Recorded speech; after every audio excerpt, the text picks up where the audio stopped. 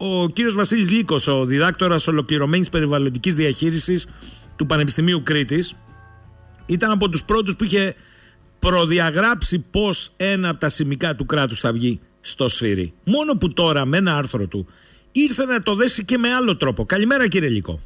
Καλημέρα σας. Λοιπόν, μάντις κακών βέβαια ήσασταν, αλλά τώρα εδώ το δένετε περισσότερο με το άρθρο και με όλη αυτή την κουβέντα για την υψηλή τεχνολογία, τις σπάνιες γέες, την κλιματική αλλαγή. Γιατί; Κοιτάξτε να δείτε, εγώ θα σας πω το εξής: Ότι δεν μπορούμε να πάμε, τα έχουμε ξαναπεί στην εκπομπή πολλέ ε, φορές σε, σε σχέση με τις σπάνιες γέες. Εδώ όμως τώρα προστίθεται και κάτι άλλο. Είναι, αυτά, είναι αυτά που ονομάζουμε τις ε, ύλες τη λεγόμενη μπαταρία. Δηλαδή, μιλάμε για το νικέλιο, μιλάμε για το κοβάλτιο, μιλάμε για το λίθιο, μιλάμε για το γραφίτι, μιλάμε για το μαγκάνιο. Αυτά λοιπόν, σύμφωνα με το Διεθνή Οργανισμό ε, Ενέργειας, φανταστείτε ότι η ζήτηση του μόνο του νικελίου, όχι του κουβαλτίου, που είναι περισσότερο στρατηγική σημασία σε μέταλλο, θα αυξηθεί 19 φορές τα επόμενα χρόνια. Μόνο και μόνο για τη χρήση της στην αυτοκινητοβιομηχανία, δηλαδή για, κυρίως για μπαταρίες λιθίου. Αναφέρομαι για μπαταρίες λιθίου, επειδή αυτές μπορούν να συσσωρεύσουν πολύ περισσότερη ενέργεια αναμονάδα μάζας. Mm. Όλος ο κόσμος στρέφεται προς μπαταρίες λιθίου. Την ίδια στιγμή λοιπόν που εμείς έχουμε μια εμβληματική βιομηχανία, τη Λάρκο. Εμβληματική βιομηχανία με αξία πάνω από 20 δις δολάρια. Και εδώ βράτω με τις ευκαιρίες να σας πω κάποια χαρακτηριστικά για τη Λάρκο. Ότι προμηθεύει με 6% σιδηρονικέλιο την Ευρώπη. Προσέξτε, βγάζω έξω το κοβάλτιο. Εμείς το πουλάμε σιδηρονικέλιο που περιέχει κοβάλτιο και συνεχεία παίρνουν την πρώτη ύλη κάποιες χώρες στη μεταποίηση και βγάζουν κοβάλτιο. Έχει το 3% παγκόσμιας παραγωγής παγκόσμιας παραγωγής σιδηρονικελίου και συγκαταλέγεται με το ποιοτικότερο αυτό, αυτή την, πρώτη, την ποιοτική πρώτη ύλη που διαθέτει στις πέντε μεγαλύτερες χώρες παραγωγούς σιδηρονικελίου στον κόσμο. Επιπλέον δε, η Λάρκο κατέχει το 90% των κοιτασμάτων του νικελίου της Ευρώπης και έχει όλα τα νικελιούχα μεταλλεύματα υπό την κατοχή της στην Ελλάδα. Δηλαδή καταλαβαίνετε τι πρόκειται να αγοράσει ο όποιος υποψήφιος ιδιώτης βρεθεί. Άλλωστε δεν είναι τυχαίο ότι από τη Σιγκαμπούρη μέχρι τη Μεγάλη Βρετανία και την Ελβετία όλοι προσπαθούν να την αγοράσουν. Ήδη έχει εμπλακεί και μια Ισραηλινή εταιρεία. Εδώ και πάρα πολλά χρόνια. Και πώς την πουλάνε τώρα; Προσέξτε πώς την πουλάνε. Δεν την πουλάνε εν μέσω λειτουργίας της. Την πουλάνε ως scrap. Δηλαδή διαχωρίζουν τα ημάτια της. Και γιατί τα διαχωρίζουν τα ημάτια της; Γιατί η Λάρκο, εκτός των άλλων, διαθέτει πάνω από ένα εκατομμύριο στρέμματα. Διαθέτει τρία ορυχεία. Έδεια, Διωτία, Καστοριά διαθέτει δύο οικισμούς, διαθέτει δύο λιμάνια, ένα εργοστάσιο λιγνίτης, λιγνίτη στα Σέρβια Κοζάνης και όλο αυτό το τιμαριοποιούν, το χωρίζουν σε σκραπ, σκραπ δηλαδή παγιοσίδερα, προκειμένου να το πουλήσουν μπυρ παρά. Αν αυτό δεν είναι εθνικό έγκλημα, τότε τι είναι κύριε Σαχίνη, πείτε μου. Και εδώ ε, δεν είναι φύγει 300 εργαζόμενοι, οι οποίοι θα χάσουν τη δουλειά τους και θα χάσουν και τα σπίτια τους κιόλας. Είναι 11 εκατομμύρια Έλληνες είναι 11 εκατομμύρια Έλληνες, διότι πωλείται δημόσιος πλούτος που θα μπορούσε να συμβάλλει στην ανάπτυξη της Ελλάδας και στην διανομή κοινωνικών μερισμάτων. Ε, μισό λεπτό, ένα-ένα. Είναι και οι 1.300 εργαζόμενοι με τις οικογένειές τους. Προφανώς το ξέρετε.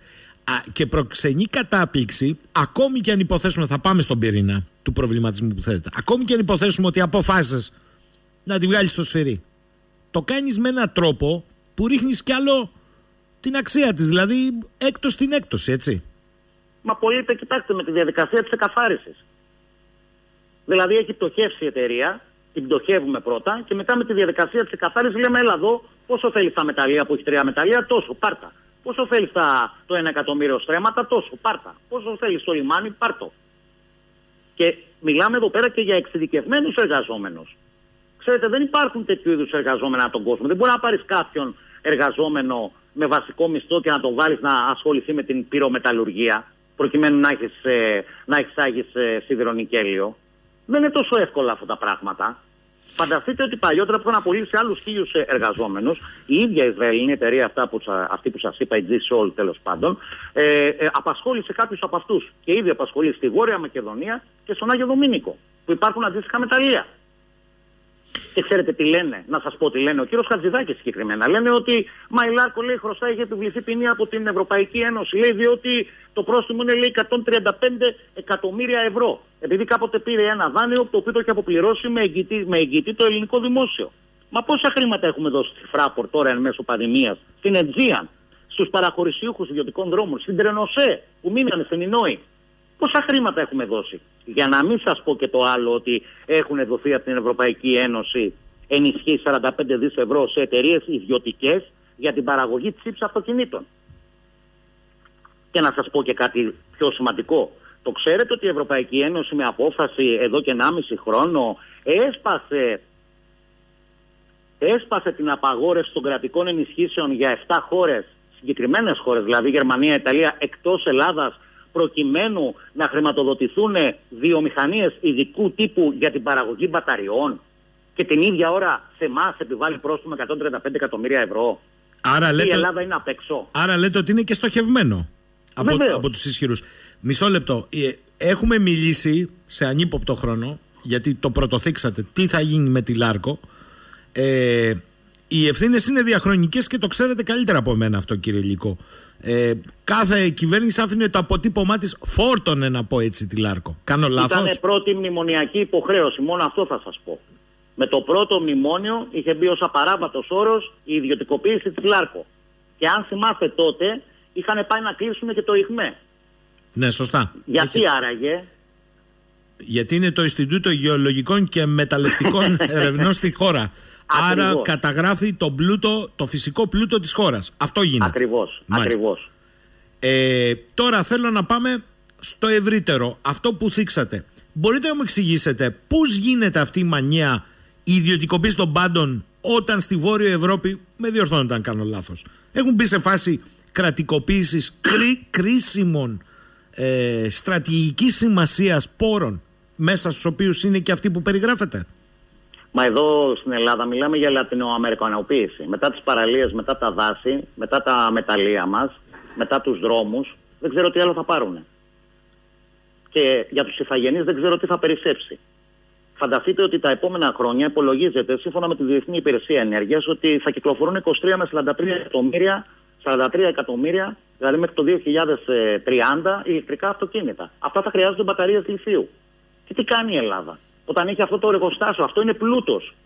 Τάξη είχε προβλήματα, μα να το εξηγιάνει. Δεν μπορεί να έρχεται τώρα ο Υπουργός Ενέργειας και Περιβάλλοντος και ο πατέρας του, αν διαβάσετε, ήταν από τους τελευταίους διοικητές, ο οποίος είχε διορίσει και τον, ε, και το συμπέφερό του και τη γυναίκα του με πακιλότατου μισθούς την ώρα που μειώνονταν οι μισθοί των εργαζομένων κατά 25%. Ποιος, ο πατέρας του κυρίου Σκρέκα, εννοείται; Ακριβώς. Μάλιστα. Ακριβώς. Παρκάραμε εκεί δηλαδή πολιτευτάδες οι οποίοι δεν βγαίνανε και δεν ξέρω τι, τι, τι, τι γνώσεις είχαν από μεταλλευτική βιομηχανία. Γιατί αυτή τη στιγμή να, να μην υπάρχει ένας ενιαίος μεταλλευτικός οργανισμός εκμετάλλευσης μεταλλευμάτων στην Ελλάδα. Τα ίδια είχαν πάει να κάνουν και στην Κασάνδρα. Αποτέλεσμα είναι ότι σιγά σιγά εμείς χάνουμε τα ασημικά μας και δεν ξέρω μετά από πού θα βρίσκουμε χρήματα για να πληρώνουμε μισθούς και συντάξεις. Θα δανειζόμαστε και πάλι. Λέει ένας φίλος εδώ, κύριε Λίκο, μήπως γνωρίζετε, λέει, πόσες φορές έχει πουληθεί αυτή η Λάρκο τελικά διαχρονικά. Ένα. Άλλος. Από τις πωλήσεις που κάνει τώρα, τι κέρδη έχει. Τρίτος. Τι κέρδη έχει ώστε να πολλαπλασιάσουμε επί 19 φορές που θα ανέβει η τιμή του νικελιού. Αυτά δεν θα έπρεπε να τα πούνε, λέει. Μα δεν υπήρχε ποτέ κάποια, ε, δεν υπήρχε κάποιος ποτέ ε, στρατηγικός στόχος. Δηλαδή τι θέλουμε να κάνουμε τη Λάρκο τα επόμενα πέντε χρόνια.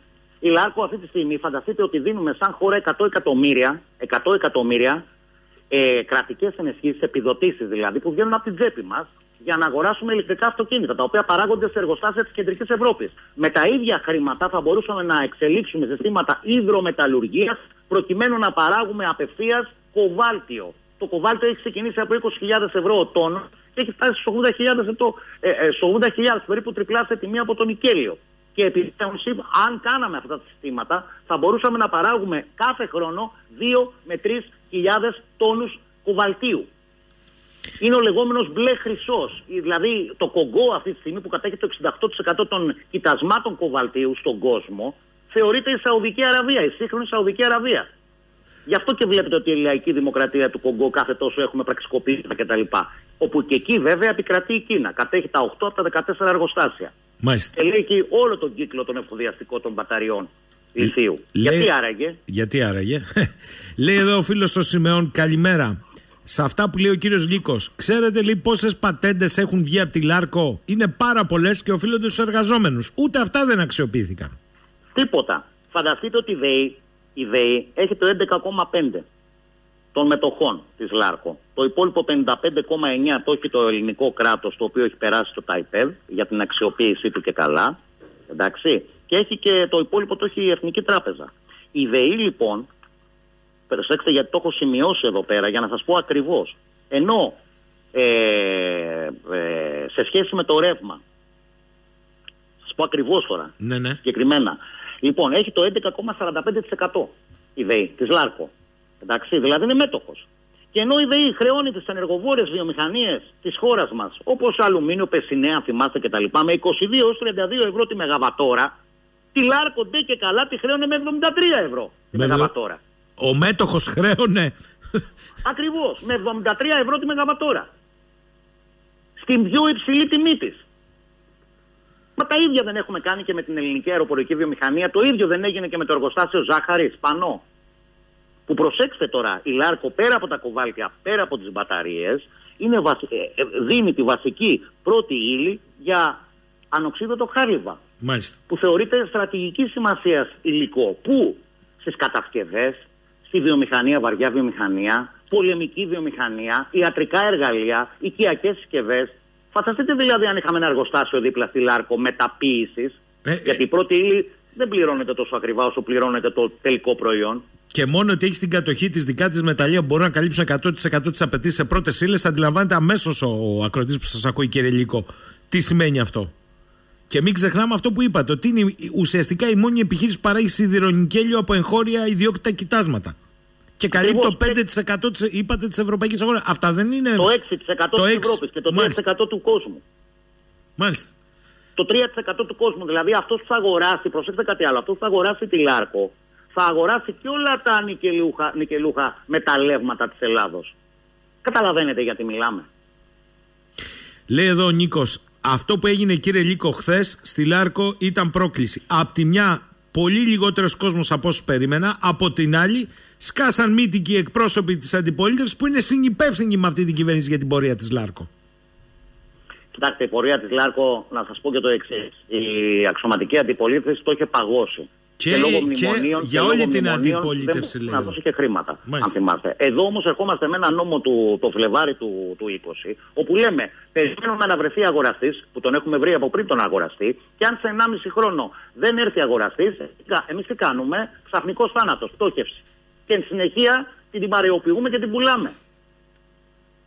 Γι' αυτό και έχουν μπει και εγχώροι παίχτε σε αυτό το όλο παιχνίδι. Γιατί είναι πολλά τα λεφτά. Εδώ μιλάμε για ηλεκτρικά αυτοκίνητα, μπαταρίες. Από πού θα. Ε, Πρώτες ύλε μπαταρία, το καταλαβαίνετε. Μιλάμε για νικέλιο και κοβάλτιο. Δεν μου λέτε κύριε δηλαδή, Λίκο, έχετε. 53.000 τόνοι, να σας πω και αυτό, με συγχωρείτε ένα λεπτό. Ναι, ναι. 53.000 τόνους θα χρειαστούμε τα επόμενα χρόνια ε, σε κοβάλτιο. Και η Φιλανδία, το άλλο εργοστάσιο, παράγει μόνο 2.300. Και η Ευρώπη αναγκάζεται αυτά να τα εισάγει κυρίως από Κίνα, τις πρώτες ύλε. Ενώ υπάρχει η Ελλάδα. Ενώ υπάρχει η Ελλάδα. Έχετε την αίσθηση ότι υπάρχει αντίληψη και στρατηγική κουλτούρα στο πολιτικό σύστημα γύρω από την υπόθεση των σπάνιων γεών και όχι μόνο αυτών. Υπάρχει, το πιστεύετε; Καμία σχέση. Καμία, σχέση. Δεν ξέρουν καταρχήν ε, τι είναι το κοβάλτιο ή γιατί το λέμε μπλε χρυσό. Να σας πω έτσι. Γιατί το λέμε μπλε χρυσό το κοβάλτιο. Δεν ξέρουν γιατί, και δεν είναι μόνο ότι δεν ξέρουν. Είναι ότι γενικώς έχουμε μια λογική, έχουμε μια κουλτούρα ότι ε, πονάει δόντι, κόβει κεφάλι. Αυτό κατευθείαν. Οπότε χάνουμε όλα τα δόντια μας στο τέλος. Αυτή είναι η λογική. Δεν είναι λογική να σταθεί η Ελλάδα στα πόδια της, να δημιουργήσει μια βιομηχανία. Έχουμε 16,1% αν θυμάμαι ε, σε ό,τι αφορά στο ΕΠ ε, δευτερο, ε, συμμετέχει ο δευτερογενής τομέας. Δηλαδή μιλάμε ε, για Ουγκάντα αυτή τη στιγμή. Και από πού θα βγουν τα χρήματα προκειμένου να μοιραστεί κοινωνικό μέρισμα; Πώς θα φτιάξει η ζωή των Ελλήνων, αν αυτά τα σημικά όλα τα πουλάμε. Γι' αυτό σας λέω ότι δεν είναι υπόθεση μόνο των 1.300 εργαζομένων που πραγματικά συμπαρίστανο μαζί τους και έχουν δίκιο όταν λένε ότι εμείς θα παραμείνουμε θα παραμείνουμε εκεί γιατί έχουμε μάθει να κάνουμε το χώμα ατσάλι και θα δώσουμε τον αγώνα. Αλλά εδώ μιλάμε κυρίως για 11 εκατομμύρια Έλληνες. Αυτό είναι δημόσιος πλούτος. Δεν είναι κρατικός, προσέξτε, είναι δημόσιος πλούτος. Ανήκει σε όλους μας. Όπως ανήκουν τα δάση μας, οι παραλίες μας, οι δρόμοι μας. Λέει εδώ φίλος μου ο Κούλης από τη Θεσσαλονίκη. Καλημέρα κύριε Λίκο. Πολλές φορές και στις εκπομπές ε, του κυρίου Σαχίνη έχει γίνει αναφορά και στο φυσικό πλούτιο νότια της Κρήτης. Ερώτηση όμως και στους δύο. Ακούγοντας αυτά που περιγράφετε τώρα, μήπως η εκμετάλλευση των ελληνικών κοιτασμάτων φυσικού αερίου στην Κρήτη θα είναι το επόμενο μεγάλο φαγοπότη αν επιχειρήσουμε να τα αξιοποιήσουμε; Θέλουμε τέτοια ενέργεια χωρίς να αλλάξουν οι πολιτικές των εκάστοτε κυβερνήσεων; Κοιτάξτε εδώ, αυτά τα έχουμε ξαναπεί στην εκπομπή σας ε, ενδελεχώς κιόλας. Εδώ αυτή τη στιγμή μιλάμε όλοι για πράσινη μετάβαση, συμφωνία του Παρισιού και ούτω καθεξής. Έχουμε μια εκτόξευση της τιμής ε, του ρεύματος, τη στιγμή που δεν υπάρχουν άλλα. Μάλλον οι τράπεζες δεν χρηματοδοτούν την εξόριξη κοιτασμάτων, νέων κοιτασμάτων φυσικού αερίου. Και εμείς θα έχουμε εκεί πέρα και περιμένουμε και κατά τα άλλα είμαστε η πρώτη χώρα σε τιμή χονδρικής ε, στην τιμή του ρεύματος στην Ευρώπη. Μαζί με άλλες μαζί με άλλες δύο χώρες, τη Λιθουανία, αν δεν κάνω λάθος, και τη Βουλγαρία. Και βλέπετε ότι η Πολωνία έχει το χαμηλότερο ρεύμα. Γιατί, Γιατί χρησιμοποιεί εργοστάσια λιχνίτη. Και υπάρχει και μελέτη του Πολυτεχνείου, σύμφωνα με την οποία θα είχαμε ελάχιστες εκπομπές αν κάναμε αυτή τη μετατροπή των εργοστασίων μας. Σε ό,τι αφορά το φυσικό αέριο, περιμένετε και θα δούμε. Όταν με το καλό αποφασίσουν και οι Τούρκοι, όταν θα μπουν στο παιχνίδι και οι Γερμανοί, τότε θα αποφασίσουμε εμείς να κάνουμε εξόριξη, όπου δεν ξέρω και τι θα πάρουμε στο τέλος. Ενώ την ίδια στιγμή αθετούνται συμφωνίες με το Ισραήλ για το κοίτασμα Λεβιάθαν. Που θα μπορούσε να καταστήσει την Ελλάδα κεντρικό παίχτη στην Νοτιοανατολική Μεσόγειο μαζί με την, μαζί με την Κύπρο. Άρα... Όμως εμείς αυτό ούτε καν, ούτε, ούτε καν γι' αυτό συζητάμε. Πόσο μάλλον δεν για την εξόριξη. Άρα κύριε Λίκο εσείς λέτε ότι στην πιο κρίσιμη φάση η χώρα σπέβδει να βγάλει ασημικά που αφορούν και σπάνιες γέες που είναι το παιχνίδι του άμεσου μέλλοντος στο σφυρί. Και αυτό θα έπρεπε να αφορά όλους τους Έλληνες. Γιατί όπως είπατε είναι δημόσια, καν κρατική, δημόσια περιουσία. Ακριβώς. Ακριβώς. Αυτό είναι το, αυτό είναι το μεγαλύτερο πρόβλημα. Και αντί αυτού εμείς την απαξιώνουμε και την πουλάμε ως σκραπ. Την πουλάμε ως σκραπ. Αφού είναι τόσο απαξιωμένοι γιατί κόπτονται όλοι να την αγοράσουν; Έλα μου Απλά θέλουν να την αγοράσουμε, να την αγοράσουμε μπει παρά. Νομίζετε δεν ξέρουν τα μεταλλεύματα που έχει αυτή τη στιγμή το ελληνικό κράτος. Σας είπα προηγουμένως για το ΙΧΜΕ. Γιατί δεν είναι μόνο αυτά, έχουμε και σπάνιες γέες, να ξέρετε. Όπως για ψάξτε, μια και κάνετε, ξέρω ότι είστε αρκετά δραστήριος δημοσιογράφος, για ψάξτε το υπέδαφος της Βόρειας Εύβοιας που κάηκε το καλοκαίρι. Μήπως δεν είναι μόνο οι ανομογεννήτριες. Αλλά; Αλλά, ψάξτε το λίγο να δείτε τι έχει από κάτω. Μήπως μιλάμε και για σπάνιες γέες εκεί πέρα; Όπως; Όπως σπάνιες γέες, σας λέω γενικότερα. Δεν θέλω να αναφερθώ παραπάνω, αλλά δείτε και τι έχει έρθει από κάτω. Ότι δεν είναι τελείως παιχνίδι μόνο οι ανεμογεννήτριες, δεν είναι μόνο οι παραλίες, δεν είναι μόνο φιλέτα που πολλούνται, αλλά μιλάμε και για ορυκτό πλούτο. Είναι το παιχνίδι της επόμενης δεκαετίας. Όποιος κατέχει τον ορυκτό πλούτο τη πρώτη ύλες, δηλαδή όποιος κατέχει το σύγχρονο πετρέλαιο, αυτός και θα ορθοποδήσει και θα επικρατήσει έναν τον άλλον. Γι' αυτό και η Κίνα, ενώ έχει ειδικά τη κοιτάσματα σε σπάνιες γέε, τι κάνει; Προσπαθεί να δεσμεύσει και κοιτάσματα που υπάρχουν πέρα από τη δική της επικράτεια. Θυμηθείτε τι έγινε στη Γρυλανδία; Γιατί ο Τραμπ ήθελε να αγοράσει τη Γρυλανδία, το θυμαστε Γιατί, τι, γιατί ήθελε να την αγοράσει, Γιατί, γιατί ακριβώς έχει σπάνιες γέε. Μάλιστα. Καταλάβατε και όπου υπάρχουν σπάνιες γέε, να ξέρετε ότι υπάρχει και ουράνιο. Λοιπόν, Βασίλης Λύκος πριν δύο χρόνια είχε ανοίξει αυτή την ιστορία ε, με άλλες θεματολογίες και να πως ήρθε μπροστά δύο χρόνια μετά, πολύ γρήγορα δηλαδή, ε, αυτή η ιστορία η οποία βεβαίως έχει και την κοινωνική διάσταση 1.300 εργαζομένων και των οικογενειών τους που καλούνται να ξεσπιτωθούν, είναι αποφασισμένοι να φύγουν, αλλά έχει και την εθνική διάσταση επιπλέον ε, του τι συμβαίνει ακριβώς, του τι παίζεται σε ένα φαύλο κύκλο όπου αποκρύπτεται τη δυνατότητα των σπάνιων γεών για τη χώρα μας. Κύριε Λίκο, θέλω να σας ευχαριστήσω. Και εγώ ιδιαίτερα και θα κλείσω μόνο με αυτό που έχουν πει οι εργαζόμενοι. Πρέπει να τους ενισχύσουμε πρώτα από όλους αυτούς, γιατί δεν είναι μόνο ότι θα μείνουν άνεργοι, θα μείνουν και άστεγοι και να κλείσουμε αυτό που είχαν πει στη συγκέντρωσή τους προχθές στην Αθήνα. Ότι θα παραμείνουμε στα πόστα μας και θα συνεχίσουμε να κάνουμε το κόμμα Ατσάλι. Αυτό που ξέρουν δηλαδή. Σας ευχαριστώ κύριε Λίκο να είστε καλά.